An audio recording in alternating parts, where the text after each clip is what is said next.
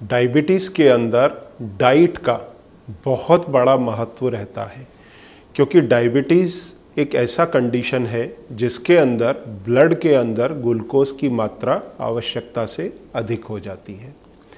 अब अगर आवश्यकता से अधिक हो जाती है तो इसको चार तरह से रेगुलेट किया जा सकता है। पहला तो कैसे रेगुलेट किया जाता है कि बॉडी में जो इंसुलिन बनता है, वो उस एक्स्ट्रा ग्लूकोज को सेल के अंदर डाल देता है। तो वो जो सेल के अंदर डालता है, वहाँ पर वो एनर्जी प्रोड्यूस करने के काम आता है। अगर एक्स्ट्रा क्वांटिटी होती है तो स्टोर हो जाती है ग्लाइकोजन के रूप में, और भी अगर एक्स्ट्रा क्वांटिटी है तो फैट में स्टोर हो जाती है।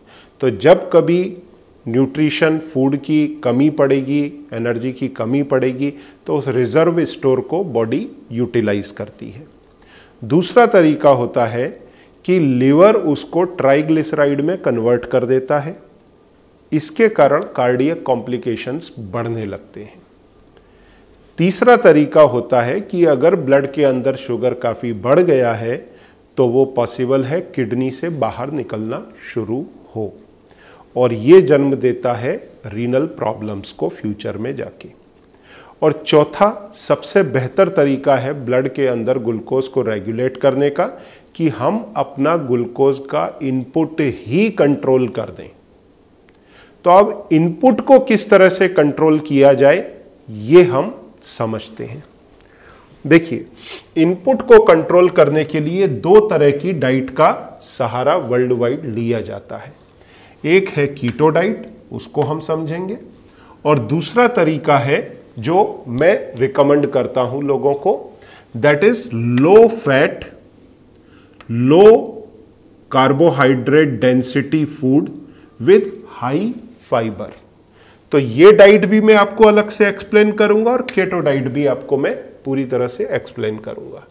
इसके साथ में हम ये समझेंगे कि कुछ एक फ़ूड जो हैं, एक कॉमन वे में कौन से फ़ूड सेफ़ हैं लेने के लिए और कौन से फ़ूड में डायबिटीज़ के अंदर रिस्क है, चाहे आप कीटो में जाएँ, चाहे आप लो डेंसिटी कार्बोहाइड्रेट डाइट को एडॉप्ट करें।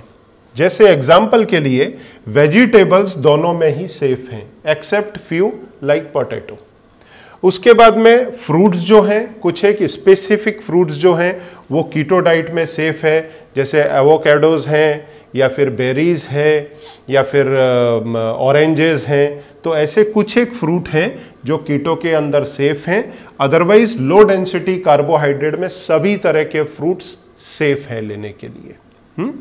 उसके बाद में लेग्यूम्स वोल ग्रेन और हाई फाइबर सीरियल्स ये सारी चीज़ें सेफ़ हैं लेने के लिए और जो रिस्की चीज़ें हैं चाहे किसी भी प्रकार की डाइट हो जो रिस्की है जो रेडी टू ईट सीरियल है जैसे आ, मैदा हाँ तो वो पूरी तरह से रिस्की है।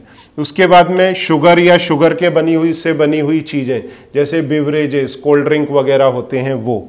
उसके बाद में रिफाइंड ग्रेन इसके अंदर जो, इसकी मैदा की बनी हुई चपाती या नान वगैरह होती हैं, वो भी आती है। या फिर राइस है पोटैटो फ्रेंच फ्राइज वगैरह है। या फिर बेकरी प्रोडक्ट जो अक्सर स्वीट होते हैं और मैदा से बनते हैं। तो ये सब जो है रिस्की के अंदर आते हैं। ठीक है तो ये तो एक कॉमन परसेप्शन हो गया। हालाँकि इसके लिए मैं आपको एक ग्लाइसिमिक इंडेक्स और ग्लाइसिमिक लोड का भी चार्ट अवेलेबल कराता हूँ। नीचे दिए हुए बटन पे अगर आप चाहें तो प्रेस करके ग्लाइसिमिक इंडेक्स ग्लाइसिमिक लोड का चार्ट पूरा मंगा सकते हैं, जिसमें लगभग 200 आइटम ऐसे हैं जो बताए गए हैं कि क्या सेफ़ है आपके लिए और क्या अनसेफ है। तो उसमें आपको पूरी डाइट पे एकदम क्लैरिटी आ जाती है। आप नीचे बटन प्रेस करके वो चार्ट पूरा मंगा सकते हैं। तो अब आगे हम देखेंगे कि कीटो डाइट और ये लो डेंसिटी कार्बोहाइड्रेट डाइट को दोनों में से क्या हमारे लिए अच्छा है और किस तरह से हम इसको अडॉप्ट कर सकते हैं इजीली अपने लाइफ में और अपनी डायबिटीज़ को कंट्रोल कर सकते हैं या रिवर्स कर सकते हैं इसी के बेस पर। ठीक है? पर जब भी ये डाइट फॉलो करें तो तैयारी रखें इस बात की कि आपका ब्लड शुगर कितना है और वो हिसाब से अपने एलोपैथ मेडिसिन के डोजेस सेट करें। अदरवाइज़ क्या होगा? आपकी तेज़ी से डायबिटीज़ नीचे जाएगी, आप फुल डोज के अंदर दवाई ले लेंगे और आप हाइपोग्लाइसीमिया में चले जाएँगे, बेहोश हो जाएँगे। तो वो जरा विशेष ख्याल रखें आप, या ऐसा भी ना करें कि आप अपनी डायबिटीज़ की मेडिसिन छोड़ दें और आपका ग्लूकोज लेवल बढ़ जाए। तो वो भी रिस्क होगा। तो प्रॉपर मॉनिटरिंग के साथ में डाइट को फॉलो करें तो आपको डायबिटीज़ को कंट्रोल और रिवर्स करने के अंदर हेल्प मिलेगी। और इसमें एक बहुत बड़ा रोल जो है इंटरमीडियंट फास्टिंग का भी है। फास्टिंग के लिए मैं किसी दिन और अलग से क्लिपिंग बना करके आपको दूँगा जो इंटरमीडियंट फास्टिंग है उस पर। पर आज हम कीटो और लो डेंसिटी कार्बोहाइड्रेट डाइट का कंसेप्ट पूरा समझेंगे। ठीक है? तो कीटो डाइट जो है, वो बेसिकली एक ग्रुप कीटो डाइट को पूरी तरह से सेफ़ मानता है डायबिटीज़ के अंदर और दूसरा ग्रुप जो है लो डेंसिटी कार्बोहाइड्रेट डाइट को भी सेफ़ मानता है। तो दोनों ही तरह के कंसेप्ट हैं, मैं आपको दोनों ही चीज़ें बताऊँगा। कीटो डाइट के अंदर बेसिकली कंसेप्ट क्या है, वो हम समझें।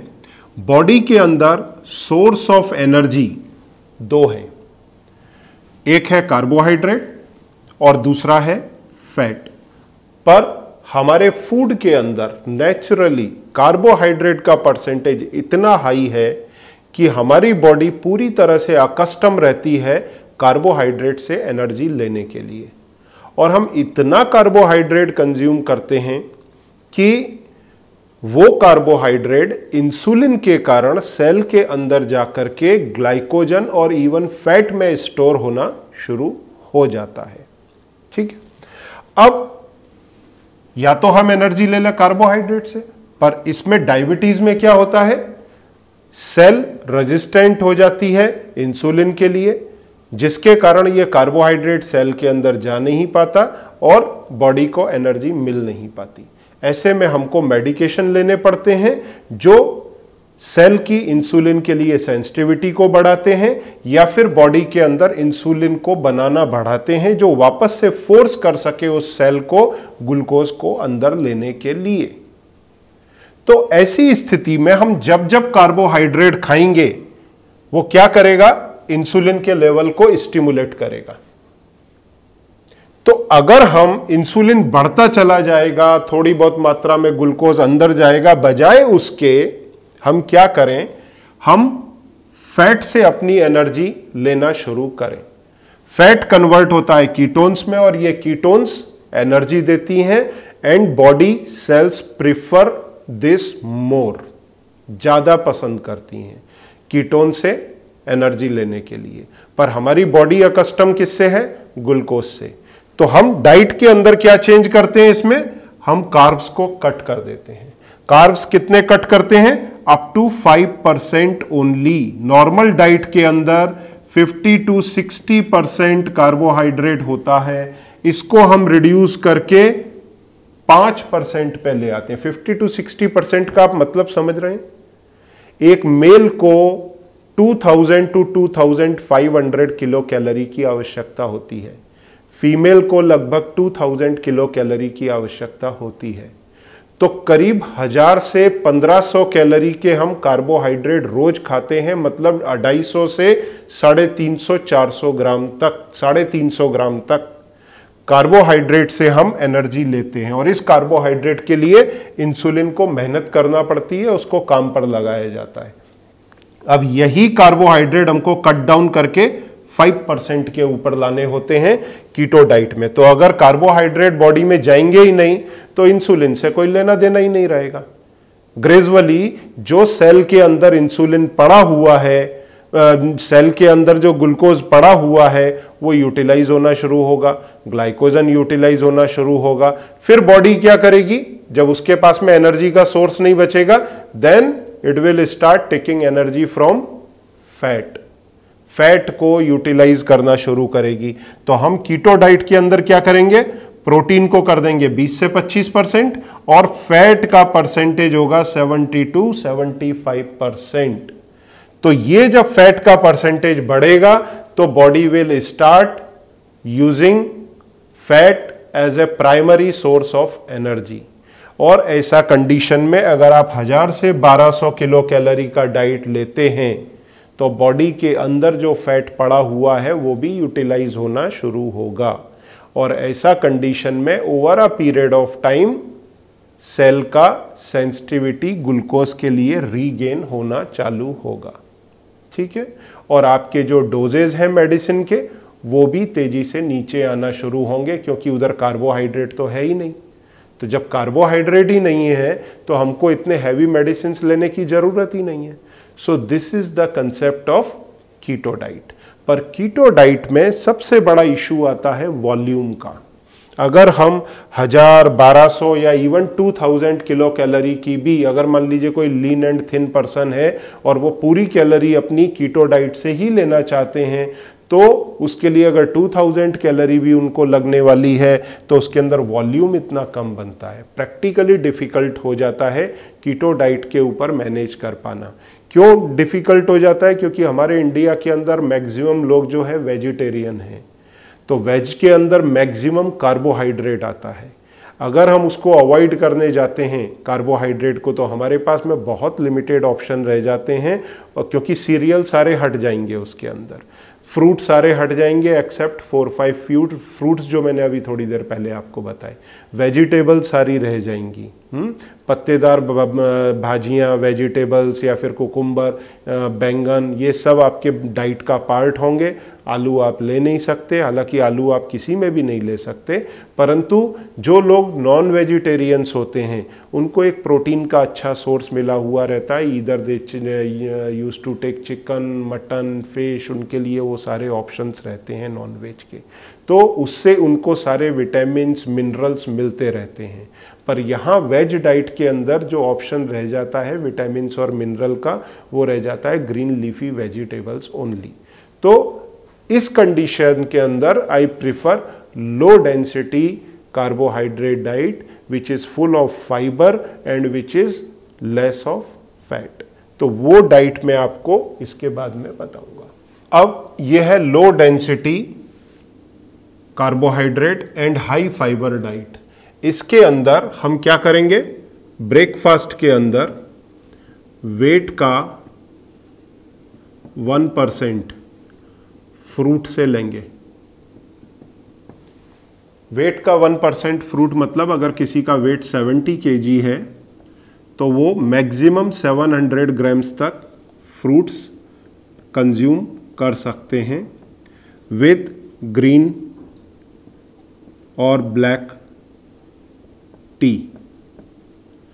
Milk totally prohibited है all animal products are prohibited तो मिल्क प्रोहिबिटेड रहेगा इसमें 700 ग्राम तक फ्रूट ले सकते हैं और आपको ये जानना ज़रूरी है कि किसी भी प्रकार के फ्रूट्स डायबिटीज़ के अंदर सेफ़ है।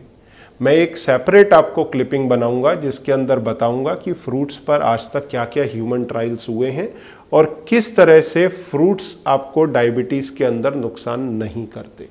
ठीक है? तो फ्रूट से आपको क्या क्या मिलेगा यहाँ पर? Antioxidant fibre definitely low carb आप बोलेंगे लो कार्ब से आप कन्विंस शायद ना भी हो। मैं आपको उसके बारे में भी बताऊँगा। साथ में विटामिन्स मिनरल्स और साथ में वाटर इसके रहता ही है। अब जहाँ तक सवाल रहा लो कार्ब्स का, आप समझ के लें, चपाती बनाते हैं 35 ग्राम की, उसके अंदर 25 ग्राम कार्बोहाइड्रेट होता है, जो आपको 100 किलो कैलोरी देता है। ठीक है?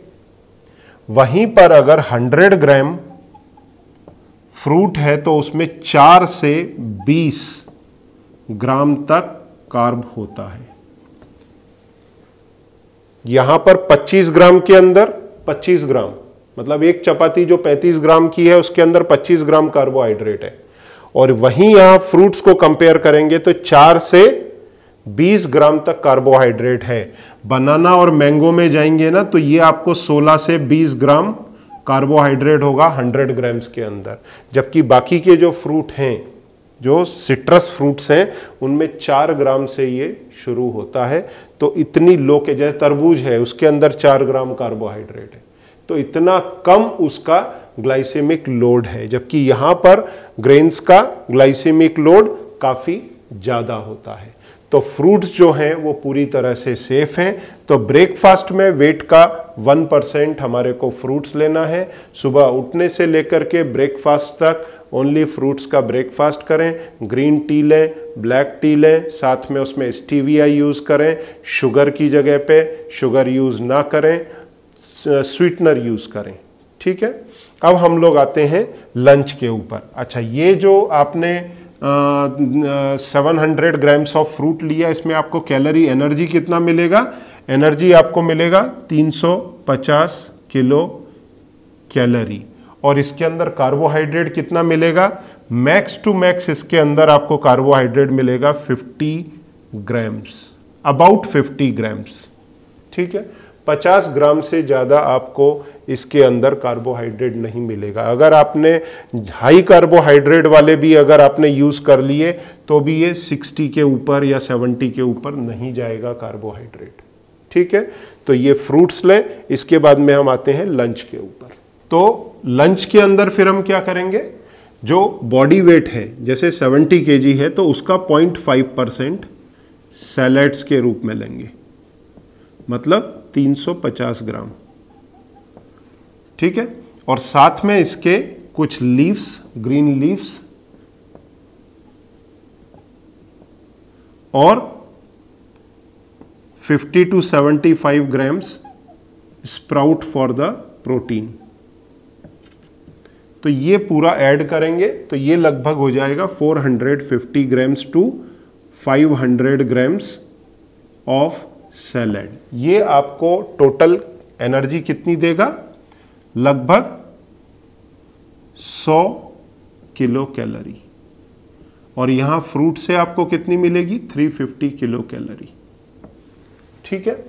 अब इसके बाद में जब ये आप सैलड पूरा ले लेंगे तो उसके बाद में आपको दाल या कोई भी भाजी जो आपके यहाँ नॉर्मल बनती है वो ड्राई वेज इसमें प्रेफर करें लीव्स और वन मैक्स टू चपाती।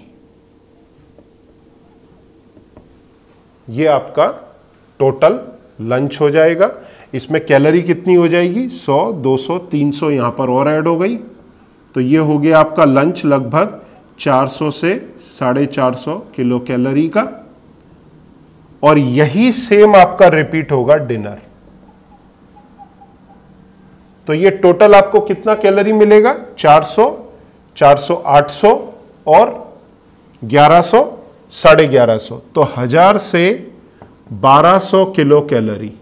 जबकि आप पहले कंज्यूम कितना करते होंगे? लगभग 1600 से 2000 कैलोरी। तो अब ये जब आपका कैलोरी कंजम्पशन कम होगा तो ऑटोमेटिकली आपके जो कार्ब्स हैं, आप कार्बोहाइड्रेट से लगभग लेते होंगे पहले हज़ार से 1500 किलो कैलोरी। तो वो कार्बोहाइड्रेट का लोड ऑटोमेटिकली रिड्यूस होकर के 50 परसेंट रह जाएगा। तो जब ये लोड 50 परसेंट रहेगा तो वैसे वैसे आपकी इंसुलिन पर डिपेंडेंसी कम होगी। ठीक है? और इसमें परसेंटेज कैसे कैसे होगा? फैट लगभग 20 परसेंट अप टू 30 परसेंट भी जा सकता है। प्रोटीन 20 टू 30 परसेंट और कार्ब लगभग 40 टू 50 परसेंट।